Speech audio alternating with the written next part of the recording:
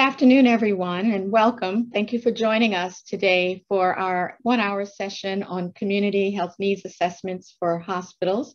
I'm Donna Jacobs, Senior Vice President for Government, Regulatory Affairs, and Community Health at the University of Maryland Medical System, and I will moderate this panel of three today. We're so pleased to have you join us.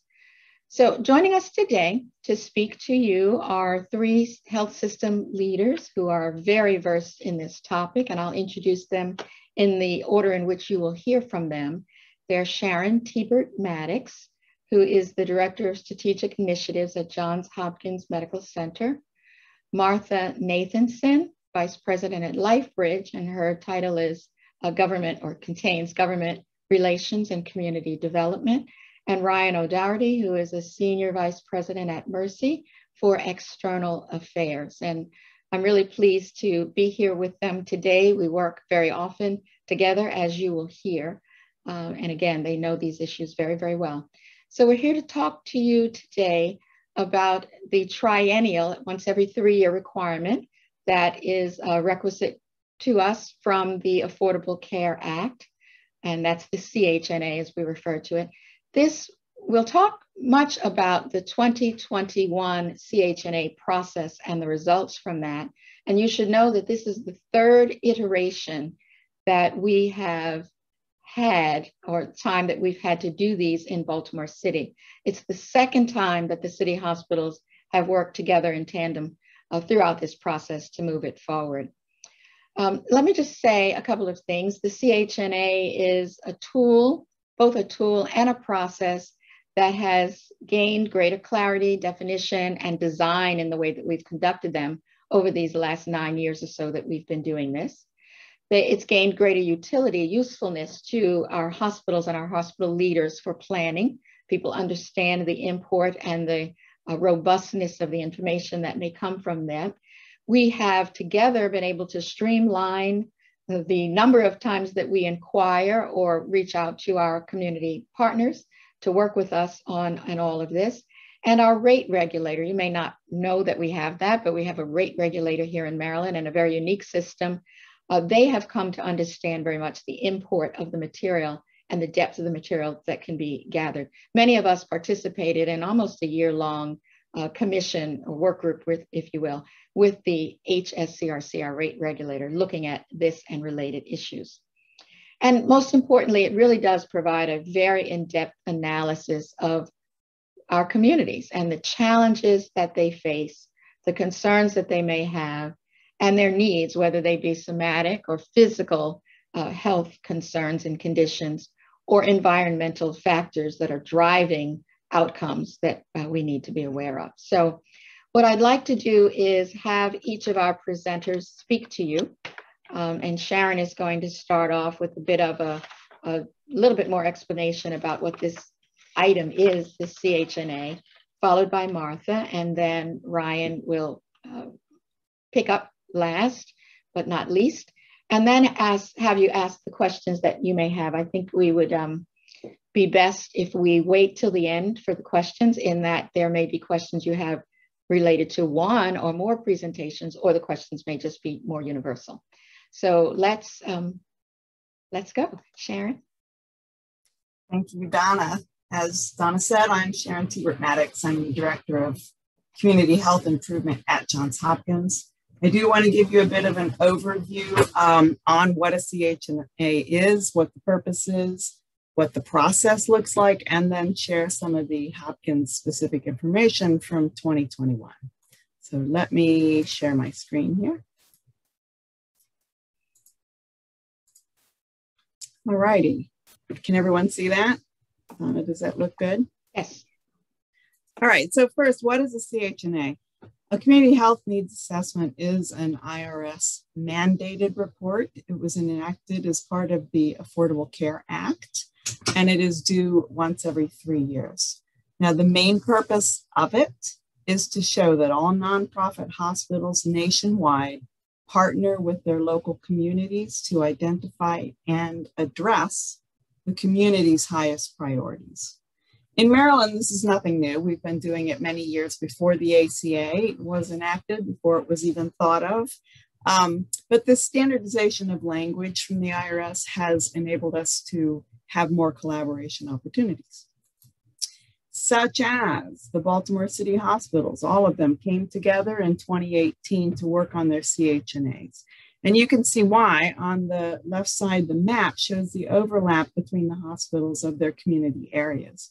So by working together, not only could we reach more people more effectively, but we reduced community survey fatigue, which is really a thing where too many people come by asking too many times what people need and what their needs are.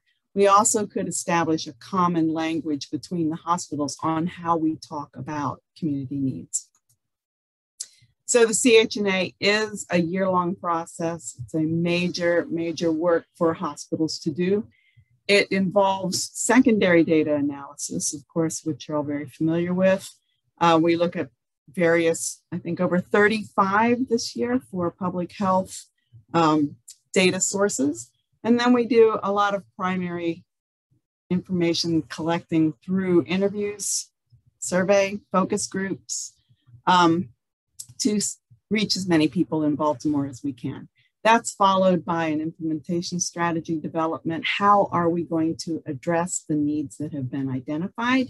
We publish the report and then it is um, approved by our boards of trustees. So who contributed? So in 2021, we worried that the COVID environment would keep us from getting as many participants as we have had in the past. In the past, we relied very heavily on in-person hand-delivered surveys at community meetings, community health fairs, et cetera. And in 2021, we actually exceeded our numbers. Over 6,000 Baltimore City residents participated. And that was done through the great help of over 100 community organizations. We reached out and made over 60,000 connections through email listservs, through newsletters, through a social media campaign, and in person at the COVID testing sites, blood drives, and clinics. This is a hopefully it's smashed and hard to read, but this will be in your slides. This is a list of 105 of those community orgs.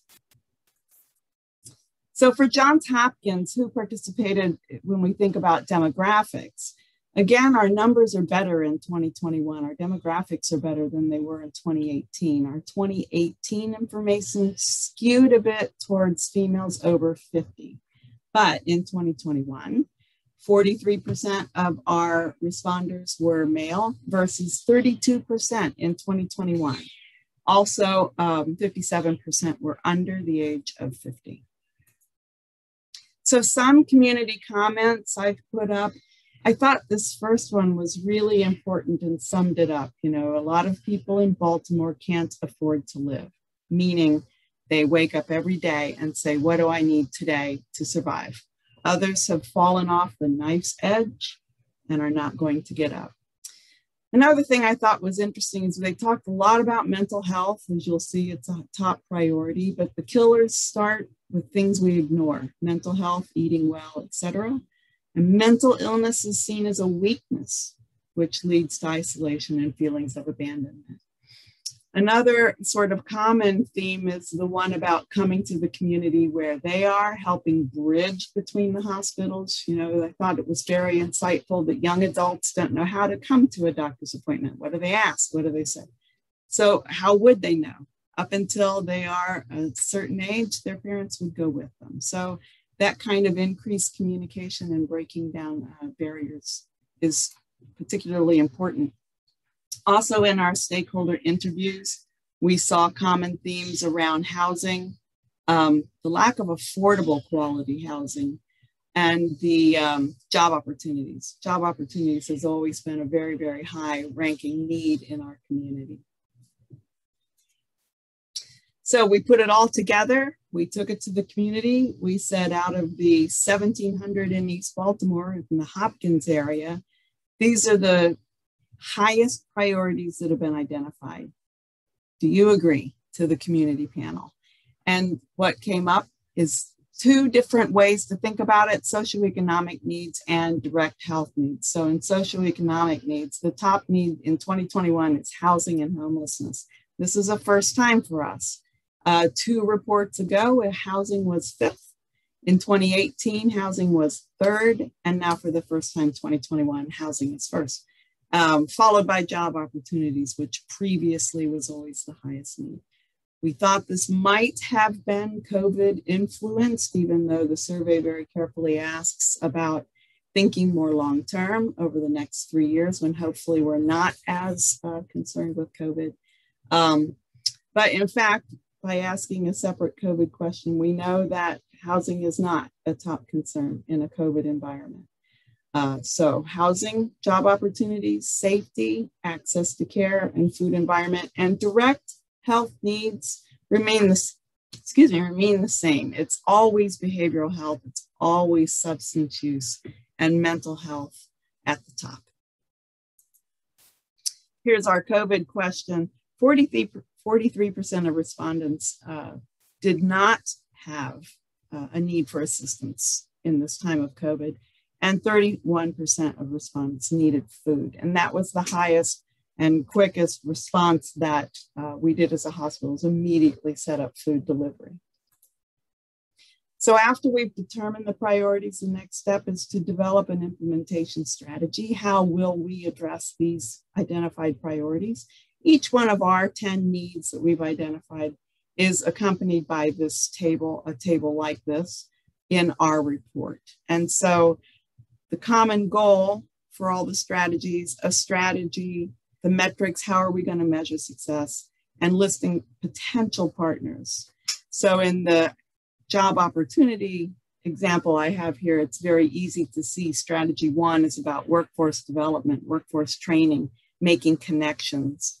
Strategy two is about actual jobs, actual hires, actual opportunities that are filled. And strategy three is about spend, how much we spend with vendors that are local and minority. Some examples of our employment programs the summer jobs program hiring baltimore city uh, high school residents. We doubled our uh, support of that in the past couple of years. P-tech is an interesting program that is a six-year program for high school students takes them through a college degree and into a bona fide job um, turnaround tuesdays uh, an opportunity largely for returning citizens to join the workforce. And here's Hopkins Local at the at the bottom again, our big, big program about hire, buy, and spend. So hire, hire, and housing and spend. So construction opportunities, our spend with minority and local businesses, and our job opportunities. And so with that, I will turn it over to Martha and LifeBridge.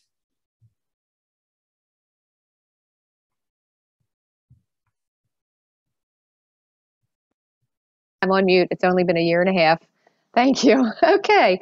Uh, again, I'm Martha Nathanson, Vice President, Government Relations and Community Development for LifeBridge Health. And Sharon's done a great job. Sharon and Donna have done a great job of laying out the universe of the CHNA. I'm going to dive right into what we found at LifeBridge and how we uh, examples of how we propose to address these needs that were identified. Next slide, please. Um, so Sinai LifeBridge is com comprised of uh, Sinai Hospital and Levindale in Baltimore City, Northwest Hospital in Randallstown, Carroll Hospital in Carroll County, and also our newest hospital, which is the former Bon Secours on the west side of Baltimore in Baltimore City. Um, so all of those, each of those individual hospitals did a CHNA, all part of this process that's been laid out um, before you with the hospitals collaborating with each other because of our our overlapping service areas. People in Baltimore City go to any hospital they want to. That's part of our our um, regulated system. Is you don't have to go to the hospital that's just in your neighborhood, and and so we do get people from across the city. So that's why we collaborated.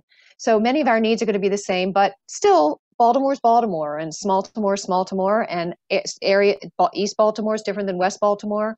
West Baltimore is different than Northwest Baltimore, where two areas where we operate. So you'll see some differences. But we did do Sinai and Levindale together because they're both located on the Belvedere Avenue corridor. And what we found as the primary concerns in that area in the 20 in 20, our 2021 assessment were the blue boxes at, at, at, at the top. Um, obviously, substance abuse, the opioid epi- epidemic continued through COVID and was top of mind for a lot of people. You see mental health and depression again, that is universal and never seems to um, to move from the top concerns that you'll that we that we see. We also saw community health education and community engagement, and what's meant by that, Sharon mentioned that as well, the need to go out into our community to provide um, opportunities for healthcare access, to get our physicians out into the community, and to minimize the time when people have to come into the hospital for primary care and routine types of care. Obviously, for specialty care, um, it's important to come to the hospital, and certainly for things like surgery. So we're really committed to uh, finding ways to move outward into the community. We also heard in the green that was those were the next level of of of interest, and a lot of that is those social social determinants of health, jobs, access to insurance, housing and homeless, access to physicians, access to healthy foods was a, a big one that came up even in our our um, our other service areas in the county and and in Carroll County. Um, very important. Community safety. Um, in our 2018 Sinai and Levindale uh, CHNAs, community safety and violence was literally the top, like the top left hand corner of what we saw. Um, that, that's where that would, that would have been. And you'll see that we established a lot of programs to that. That was still um, very high on the list for people to, to, to identify as, as, a need. Again, these are um, social determinants of health that are outside the direct healthcare services that we provide, but also important important part of our public health approach to providing healthcare. Next slide, please. Um, can't see. Is that Grace? I don't see the title. Is that Grace Medical Center? I oh, so. Ah, interesting. Uh, yeah, the title's a little bit off. I, th- um, I think it's Grace. So I'm going to talk about it. Yeah, it looks familiar to me. Yes, the transportation especially. So Grace Medical Center, again, um, former Bon Secours Hospital located in West Baltimore um, behavioral health, substance abuse, opioid again, top of top of the top of mind. You'll see there crime and related trauma was top of mind, and um, in in the next slide, I'll talk about how we've expanded some of our existing violence intervention programs to that area as well. Health education, transportation, a key issue in almost all of our areas, um, but really rose to the top um, in in at Grace Medical Center. Again, jobs right there, access to healthy food, housing and homelessness, common themes that we see, youth support, youth services, uh, more community engagement, meaning getting things out into the community. And one of the hallmarks of our acquisition of Grace Medical Center of Bon Secours was um, a, a, establishing primary care, OBGYN, endocrine, all kinds of clinic space and clinic opportunities that were heretofore not available in that community. So getting those things out into the community, making them accessible. And interestingly, financial counseling and literacy came up. So we're, we're looking at ways to expand some of our HR programs around that issue and make them available to uh, people in the communities. Um, the next slide, please. So this is Northwest Hospital in Randallstown. We, the folks at uh, BNA asked us to just address because there's a slight regional approach. Um, we just wanted to tell you what we're doing in very nearby Randallstown, just over the city line. Again, many of the same patients. Um, those were more oriented towards actual healthcare conditions and a little bit less focused in the in the top um, responses in the social determinants. So chronic heart disease, um, diabetes, mental health and depression clearly there. Health disparities came up there as well. Um, Northwest ha- ha- tends to have a very high Medicare population, a lot of older population, so less on the you know employment side of things and more on the chronic illnesses from which they suffer. Food insecurity, again, a big issue, and transportation um, across all of and community safety across all of our institutions. Um, next slide, please. So um, how do we respond? These are just examples. If I if I showed you the, the page like like Sharon did, it, it would be so teeny you couldn't see it. There's pages and pages of the programs that we've uh, um, established to respond to these needs. But I wanted to bring up um, some key examples, and that's in the areas of community safety, health disparities, and chronic heart disease.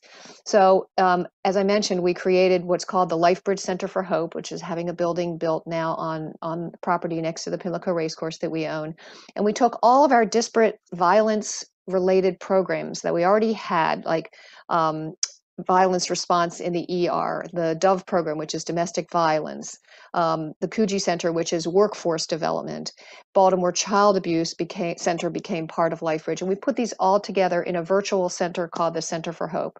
Um, where these programs continue to operate independently and to respond to needs independently, but they benefit from best practices for being together in a, in a center and also being co-housed in this new program that we're going to be um, uh, building it, it on Belvedere Avenue.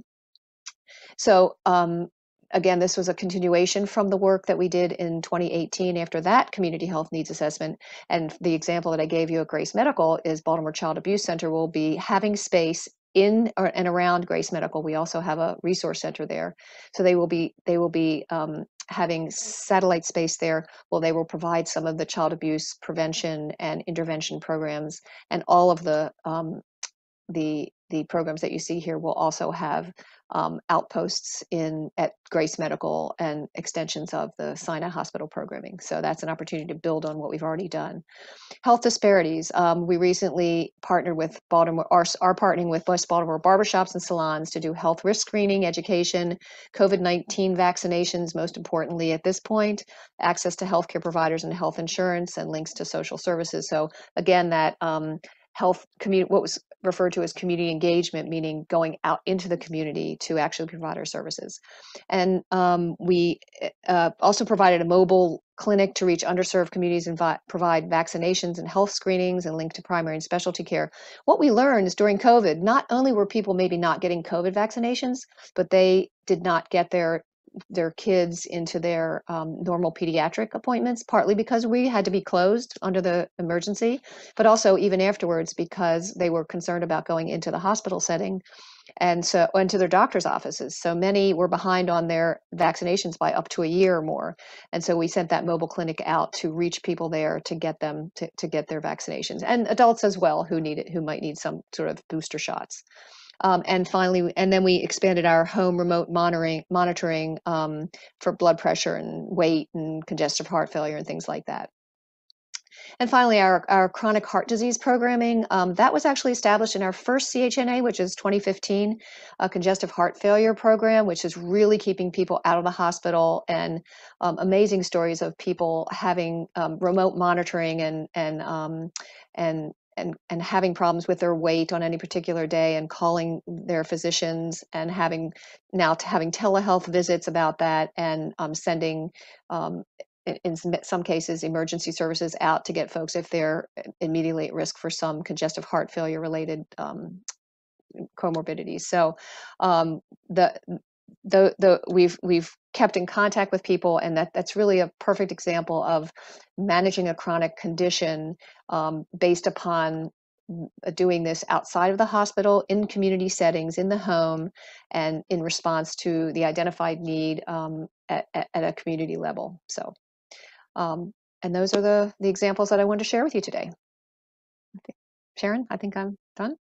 Thank you Thank you, Martha and Sharon. All right, next up we have Ryan O'Doherty, and I think Ryan's going to post his own slides. Sure, just one moment.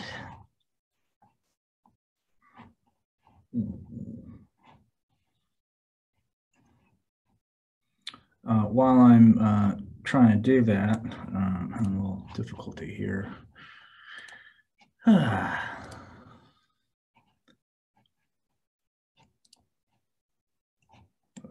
Sorry. Okay. Look for the button. Um, well, first of all, I, I just want to make a few comments uh, before I kick off here. Um, and, uh, you know, I want to thank Donna uh, and University of Maryland. You know, one of the things I'd like to share with folks is that uh, Mercy, you know, we're a teaching hospital. We actually have an academic affiliation with the University of Maryland.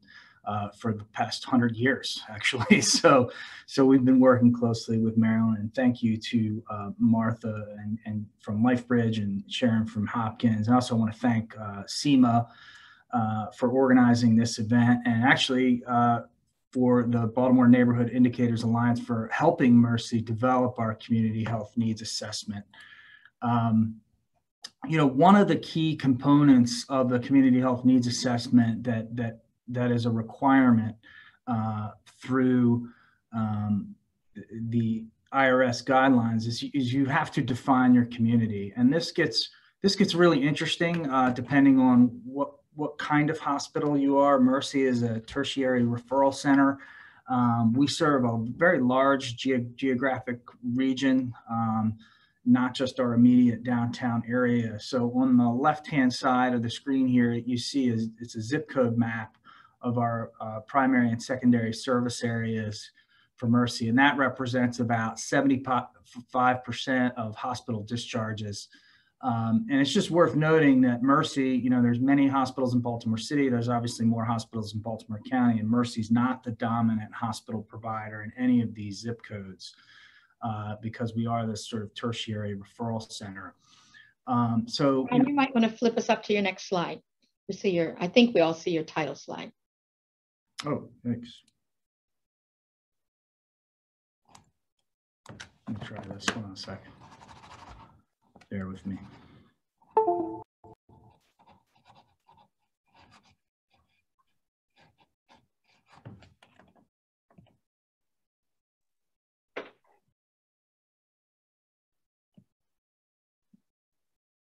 The, uh... Okay, can you see it now? There it is. Okay.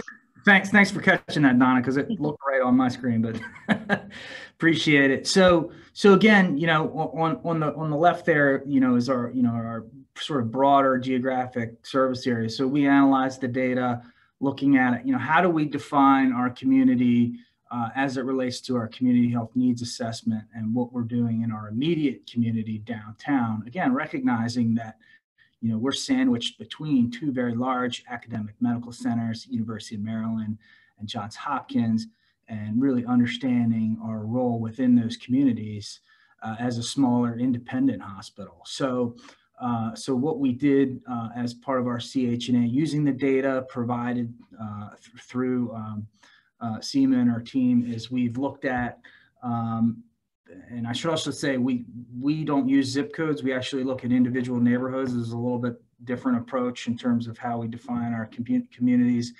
So we looked at um, uh, emergency room visits. We looked at low birth weight babies. We looked at where people uh, people individuals who who require financial assistance. We sort of plotted all of that on a, onto a map, and that helped us develop our community health needs assessment service area. So that's when we're looking at the data, we're looking at that, that uh, box sort of in the center there of the map uh, of the neighborhoods. Another thing we include in the uh, community health needs assessment, this is not a requirement of the, uh, the IRS, but I think it's, it's really important because I'm always thinking about, you know, what about people who are not from Baltimore who are reading these documents, you know, policy wonks from other uh, states or, or even regulators and uh, really think it's important to sort of lay out the, the multitude of challenges that Baltimore uh, ha has faced over the last several decades. And so we, we provide quite a bit of data uh, as it relates to these key issues, including um, poverty, crime, uh, drug addiction, uh, you know, population that has health insurance and, and median household income. Um, these beautiful maps were, were uh, created by Seema and her team, um, and, and we utilize these in our uh, community health needs assessment. Um, we are looking here at the map on the left is, is percentage of households in poverty. And uh, as you can see, a good number of the neighborhoods with the largest amount of poverty are within our defined community health uh, needs assessment area. Um, and also you can see here on the other side of the page, um, life expectancy, and you see that there's the correlation there of you know income, wealth, poverty, and life expectancy. And as you all probably know, you've probably read in the paper or seen on television many times, you know, just the significant disparities in life expectancy, neighborhood to neighborhood in Baltimore City. Um, obviously, we, we also look at, you know, one of the uh, key issues that affects the health, and, and Martha talked about this in her presentation with what LifeBridge is doing to address community violence. You know, the violent crime rate, homicides, shootings uh, affects life expectancy in our neighborhoods. Uh, so understanding um, that data and incorporating that into our report is important. And we also look at teen birth rate and other uh, birth outcome data. Um, uh, Mercy happens to be the largest uh, hospital for births in Baltimore City. About one in five city babies are, are born at Mercy. It's a service line that we're very committed to. Um, so we, we look uh, especially at birth outcomes as well in, in Baltimore and where the issues are. So, um, you know, for us, our, our key findings uh, really revolve around, you know, what, what does our area look like versus the city as a whole? Obviously, we outlined that the city has significant challenges, but what about the neighborhood specifically in our uh, community health needs assessment service area? And you see here that, uh, you know, poverty rate is higher in our community health needs area. Um, the the uh, life expectancy is is lower, um, and, and, unfortunately, it's declining. It's moving in the wrong direction uh, since our last uh, report.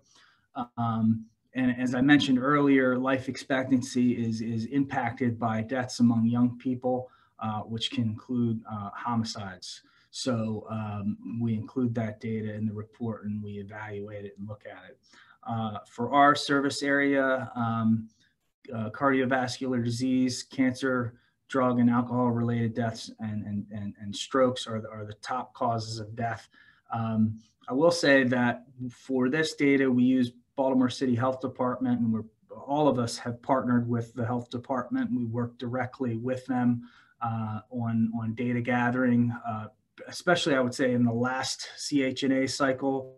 Um, we we worked all of us worked very closely with the health department uh, in, in terms of data gathering as part of that collaborative process with all the city hospitals working together to, to gather data. Um, and so that's where that information comes from. Um, and, and then another area, you know, looking at is uh, prenatal care. And again, we talked about birth outcomes. Um, and uh, we, we do, we have seen some improvement there.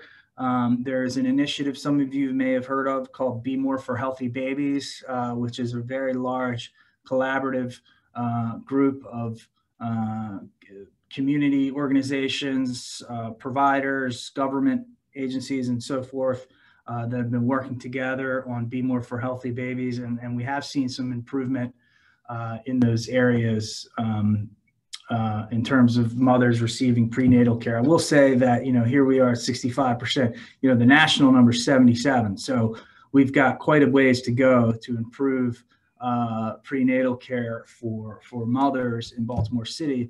And again, uh, as, as, Mercy has a significant number of the city's births, this is an issue which we are especially focused on uh, here at the hospital. Um, and, and another area that we're looking at is you know, you know, we can look at it by zip code, we can look at it citywide, but another way of looking at it is individual neighborhoods. And here you really see the disparity uh, between uh, mothers getting prenatal care uh, in in neighborhoods and and and not getting it. And you know, it's it's frankly uh, unfortunate, but not shocking that the the the neighborhoods with the highest percentage of mothers getting prenatal care are majority white neighborhoods, and the and the neighborhoods that with that have the lowest number are majority black. We are seeing improvement here, and the good news is we're seeing improvement uh, that is equitable uh, in terms of the numbers uh, moving in the right direction. Um, so this this will be uh, a continued focus for Mercy uh, for for many years to come. Again, working with our community partners, working with the health department and, and our hospital colleagues as well. Um, you know, Sharon talked about the survey that was done. Uh, these are just some highlights. Again, we did a subset of that data that represented the communities that that were in our in our area, uh, and these were the top issues that were identified um, uh, coming out of that um, in terms of most important health issues affecting the community, and you see them there listed. I won't go through all of them, but alcohol and drug addiction, mental health, uh, smoking, diabetes are are among the top issues there, uh, and um, similarly uh, different question, you know, what are the most important social environmental problems that you think affect the health of your community? So here, you know, what I, what I think is great about this is that we're really asking the community what they think is going on in their community. We're not dictating to anybody, you know, uh, what we're seeing based on the data. We're soliciting the feedback directly from community members who actually live there. And we know where they live because they provided their uh, zip code information and that helped us aggregate it. But here you go. Again, uh, very similar to what Sharon was saying earlier about how housing and homelessness has really uh, increased as a major uh, social concern, job opportunities, and then safety and violence and poverty. Uh, all of those, I'd say, for us have been uh, have been fairly consistent. And again, our service area uh, downtown, um, uh, there is a larger home, homeless population in the downtown area. So I do think we picked that up here in, the, in, in, our survey. Um, in addition to that, um, working with, um, we, we have, uh, you know, conducted stakeholder interviews um, working with University of Baltimore in a, in a, controlled fashion and soliciting additional sort of, you know, qualitative feedback about what some of the issues are in, in our communities. And this is just a brief summary of, of some of the things and key themes that have come out of those discussions. Uh, and so, you know, what do we do with all this? I think is the key question. Uh, again, we are we are mandated by the federal government through the Affordable Care Act via the IRS to do these reports, but we want to maximize the opportunity and get actionable information out of it. I think all of the hospitals on the on the call today agree that you know let's let's make the most out of this opportunity to really drive change and try to improve uh, progress. So, so what that leads to for Mercy, and each hospital has its own uh, set of priorities, and there's some where we're working together on issues. Um, but each of us sort of walk through and, and define, you know, what are we going to focus on? What are what are our focus areas? So for Mercy, um, we are a long-standing partner with Healthcare for the Homeless. We're a founding partner of of creating it. Uh, which is a federally qualified health center specifically for individuals experiencing homelessness. So we're going to continue uh, to improve access to care for homeless uh, individuals. Um, we are very focused on uh, providing support uh, for victims of violence and addiction. You know, Mercy has one of the um, has a SAFE program that uh, handles all sexual assault cases in Baltimore City. So that's just one example of one of the programs that ties to community violence and, and supporting victims. We also have one of two inpatient detox programs in the city uh, addressing addiction. Uh, I talked already about improving birth outcomes and prenatal care. That will continue to be a big focus. Again, working with our partners with B'more for Healthy Babies and, and, and our federally, federally qualified health centers like Total Healthcare, uh, who we work closely with. Uh, another big issue that has emerged is, is really this idea of expanding access to, to manage chronic disease. And this fits around sort of the whole idea of population health, you know, improving uh, the ability of folks to get primary care in the community so that they're not showing up at the emergency room in the hospital uh, for, for primary care. And we're addressing things on the front end rather than on the back end. And that ties back to the whole Maryland reimbursement system and our, our, Mar- our, unique Maryland model that all of us, all the hospitals are, working on together moving forward. And then lastly, um, you know, we we continue to provide health education to the community. And again, as I mentioned before, we're a teaching hospital and our partnership with University of Maryland, we're committed to providing education for future physicians.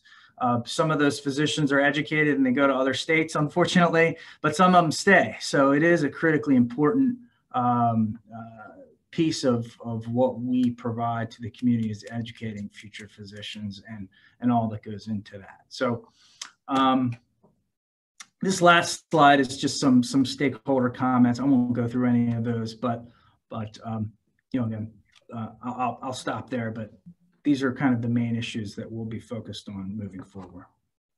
Thank you, all three of you. You really put some context here for our listeners. Let me just maybe give a little bit more of a bucket for our listeners to understand. Sharon did speak about this process taking the better part of a year to complete. And there are some items or elements of it that are absolutely requisite. The first half is all about the research. What what does the what do the data show us? And from whom do you get that? And we've spoken a lot about community input, community feedback, but as well, we have to talk about talk to the experts uh, in our communities who do healthcare on a regular basis. So, be that the health department or, by example, the uh, Diabetes Association, Heart Association, whomever. So, when we speak about going out to community, we're inclusive of that. As well, we have to gather the data. What do the primary sources and the secondary source data data say to us? And maybe you guys, there were a few references to it. If you can just click off very quickly a couple of other primary and secondary sources that you look to when you're gathering data. Who wants to jump in? It's always hard when you're on Zoom. Sharon, where else did you guys look? Or what? Brian? Oh, you're on mute, Ryan. One of the great things about working with um, University of Baltimore and the Baltimore Neighborhood Indicators Alliance is you know, and this is data week. That's the, that's the point of our conversation today. Um, is just the multitude of, of data that they have at their finger fingertips, and and it includes many many different sources. Uh, you know, it could be the census data, it could be American Community Survey, it could be data that the uh, uh, Baltimore City Health Department compiles and collects. Um, so so sort of you know having access to that sort of trying to make sense of it, breaking it down by neighborhood and, and looking at some of these key indicators um, is, is really useful. BNIA might want to jump in here since I know they did some of the work for you guys as well. Someone wants to speak to that? Not Sharon. Seema? We just, we put some of the responses in the uh, chat, so we're happy to answer specific ones based on the Mercy one, but you know, obviously the other hospitals would love to hear from you as well. Sharon. So I was just going to add in the in the secondary data sources that it was really interesting to us to go, um, you know, pretty far wide on the crime and safety to look at not only the Baltimore stats so distinctly by neighborhood that was available, but also FBI data, for example. There's just a lot of uh, a lot of sources out there, but I did want to mention on this subject the challenge that we have when looking at these secondary data sources is trying to figure out how to interpret the data in a, in a standardized way. And you know the dates are the dates are different from the last data that's been collected. If you're trying to look at trends, if you're trying to look at how you've changed or moved the needle, you know, or made a, a change in, in uh, health indicators, really trying to line up those information sources make that very, very difficult. There are things that we uh, saw haven't been updated since 2013 that we wanted to use and then didn't. Um, so just putting that into the mix. There's a question in the chat, couple, several questions in the chat. I hope we get to all of them, but one is about how are hospitals held accountable to the findings or recommendations? And of course, there were references here to the implementation plans, which each hospital must do following the data analyses that, that we've spoken about. Um, Ryan made a reference very quickly to the IRS, and certainly there's board accountability. So if any of you would like to comment further on that, we'd love to hear. Yeah, I mean, I think it's really important. Um, you know, um, uh, uh, there has been IRS enforcement of hospitals. We haven't seen it here locally, as far as I understand it, but um, nationally, there, there has been a focus on, you know, making sure that hospitals, again, the accountability is have you conducted your CHNA in the way that the Congress has, you know, prescribed that you do so and, whether or not you're meeting those IRS guidelines. So, uh, so there's definitely accountability uh, from from that level. And as Donna mentioned, you know, our own boards of trustees who are largely made up of Baltimore community members, Baltimore business leaders, and then of course here at Mercy we have uh, Religious Sisters of Mercy on our board as well. Um, but they're very interested in these topics, and um, I just had the opportunity of presenting this to to our board, and so mm-hmm. we get uh, detailed questions. Yeah, I'll, I'll echo that um, in terms of the board involvement. At LifeBridge, we have a board level community mission committee made up of members of our board who serve on that particular committee.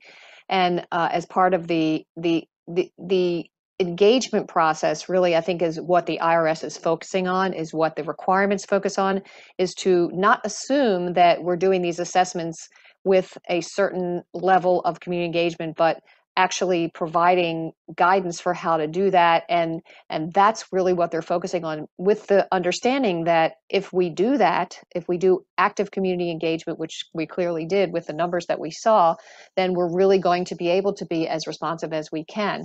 So um, our, our board really focused on the outreach process and the getting the the the not so much the secondary data collection they didn't really get involved in that level but they wanted to make sure and really held us accountable for talking about how many people we interviewed how we interviewed them what we did with the information that that they gave us and how we came about prioritizing which programs we, we would be able to actually do in response to that data we collected.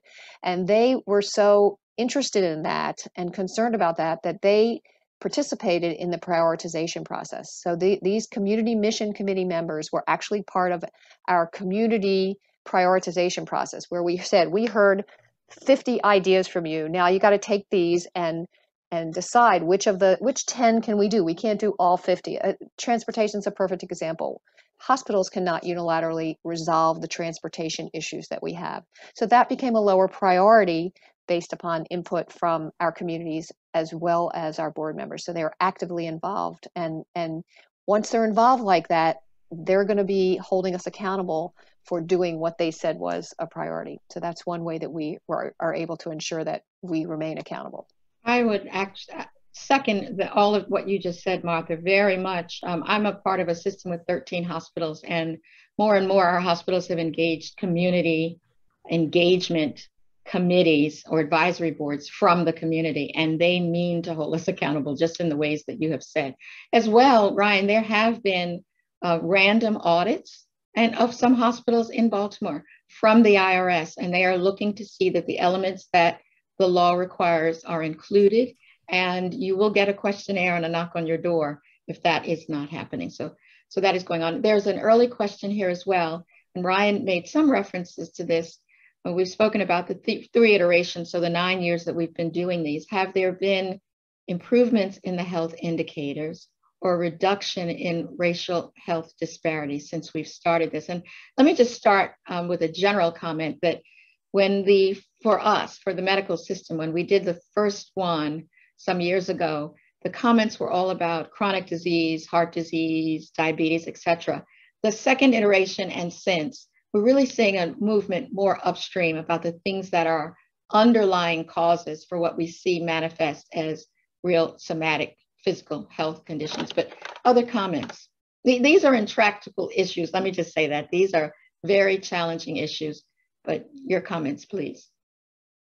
Well, I'd like to pop in on this, and you know, you talk about accountability, and, and Martha mentioned the issue of just transportation. Okay, uh, it, you know, it's a very complex issue. Um, obviously, it ties into poverty, access to jobs. Um, but when we look at accountability, you know, it's important that we look at the whole picture. Uh, so, for example, many of our hospitals uh, provide uh, transportation vouchers to patients so that they can you know, you know, we pay for that, um, you know, at a loss to to make sure that patients can get to the appointments that they need to get to for the purpose of uh, improving their health and improving outcomes uh, for the community. But we're not the only ones in the transportation game. Uh, you know, we provide a voucher for MTA, but if MTA cuts the bus line, just to use an example, I'm not trying to be controversial, but just to use an example, um, you know, that has an impact. So, you know, if, if we're going to look at accountability for health health outcomes, and we all understand that health outcomes are derived from uh, many things, including poverty, access to jobs, crime, things like that. We have to look at all the players that that are part of that, and and how we're holding everyone accountable uh, for those issues. Um, you know, hospitals are healthcare providers, and we I think we do a really good job of providing healthcare, and we're trying to move upstream and trying to do more around prevention so that people don't have to go to the hospital. But many of these issues you know it's it's so much larger than just healthcare it's it's basically our the fabric of our society and what we as a society decide we want to invest in uh, whether it's education for kids or um, you know economic development so on and so forth there's a question in the chat uh, there were a number of areas listed and one the last one was other. The question was what's in other? And sharon you answered in the chat but if you would answer here that'd be great so everybody can have the benefit of the response. yeah so interestingly enough for hopkins the other was um, alcohol and drug addiction but it showed up in the um, social determinants. I could pull that up again i just had that. Um, yeah for the social needs mostly included direct health needs reference right so we'd have drug and alcohol under direct health, and it was behavioral health number one and number two, but it showed up in other under social determinants of health. And then uh, the other way around for direct health needs, other included a lot of crime and safety um, remarks. Great. Great. There are, there's also questions um, about whether or not we reached out to a specific organization. And I'm not going to call them out because we could do that for forever. But if you guys would like to just comment on how we go about the process of reaching community, I think that would be instructive. I can help one. So in this process, one of our really great partners, because we, in our focus groups, we always go in East Baltimore, we want to make sure that we have um, input from expenders, from homeless, and from active users or people in recovery. And so Dee's Place has been one that we go to. I don't know if you know Dee's Place, but they have some wonderful programming, and it's been very helpful to us to have focus groups there. We, we partner with them, and we've been able to do that three times in two, you know, the last three assessments. So that's been very, very helpful. You know, there's so many community partners, but that would be one where we'd say, okay, who is working in our area on this need or knows this population or whose expertise can we say, can you help us? Can we reach this, this group? And Dee's is one. Let me also, I'm sorry, Martha, let me say one thing. Let me also say to everyone that again, these community health needs assessments, as well as the implementation plans are posted on our website and they reside there minimally for three years. Commentaries from any part of our community are welcome at any time and it helps us hone what we do and make it more crisp so everyone can participate in that way. Martha? Uh, yeah, I was just going to give an example of a partner um, that's been really productive for us is working with a local church. Um, the churches have uh, committees of volunteers who focus on many things um, and they have a health the one that we work with has a health committee or a wellness committee.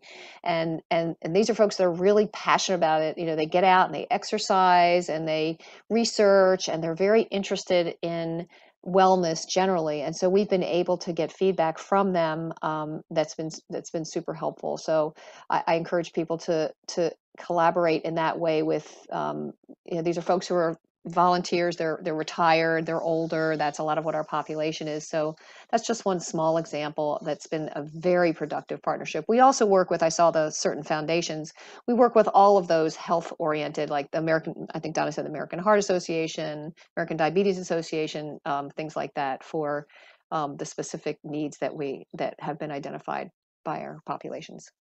Let, let me make an observation on behalf of our listeners, if you will, the devil's advocate for here for a minute. You guys are so facile in describing this process. It sounds like it's something that's pretty easy, although Sharon says it takes almost a year. What are the challenges to doing this? Are I'll start that. Yeah. I, I think the challenge is trying to get the the broad enough representation of the community, right? You want to make sure that you're not just getting whatever. There's a perception that we use internal experts. Oh, it's Hopkins and they're telling. To Ryan's point, you have to ask, not tell. Um, so we have to make sure that that's a challenge and that's part of the, the length of the process.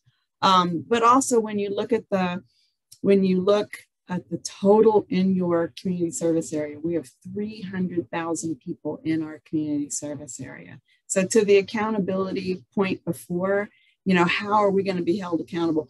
So what Donna said is that the reports are public, and that's one way you can go and you can see. But another is, in fact, getting that representation and that broad input so that it's that it's there and you can check and you can say okay 300,000 people I went out on the street and I said hey did you know Hopkins was doing this community health needs assessment you know right and the person will likely say no when you look at 6,000 or for us 1,700 out of, of 300,000.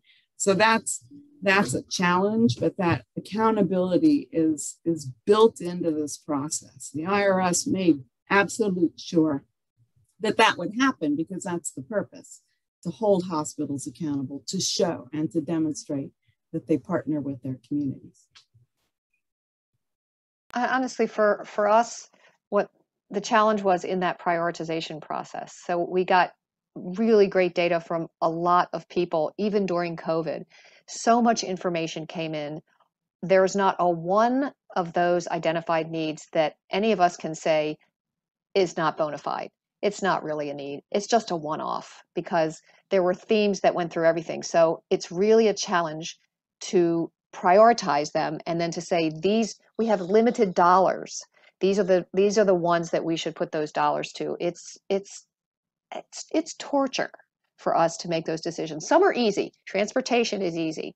We can't solve the transportation issue. We can do vouchers. We can do that. Um, violence is another one of those systemic problems that we know we can't solve but that is so strongly a part of the the the issues that come into our facilities in terms of trauma in the ER and our trauma centers and in, even in other areas of our hospitals where, where trauma of all kinds. So that was not an easy decision, but we had to make it even though there are so many factors that are beyond our ability to influence. Um, so, so trying to balance out all those, what can we impact? What can we not impact? Should we do that anyway? It, it, it's a very difficult and challenging process. Let me just say one last thing, and we're almost here at time. First of all, I certainly appreciate all of our speakers today, but um, Martha speaks to the size and the magnitude of some of these problems in Baltimore City. And I mentioned at the very outset that we work together often. Once we have individually done our work, set our priorities, and done our implementation plans, we actually sit down to see and compare what we've determined are, are high priorities and how we might work together so that we can force multiply, which is very advantageous. And I think it's great for the, for the city as well. So I see Seema has come back on and um, I just want to once again say thank you and thank you all for listening. This has been a great session. I really do appreciate you all very much. Seema, did you have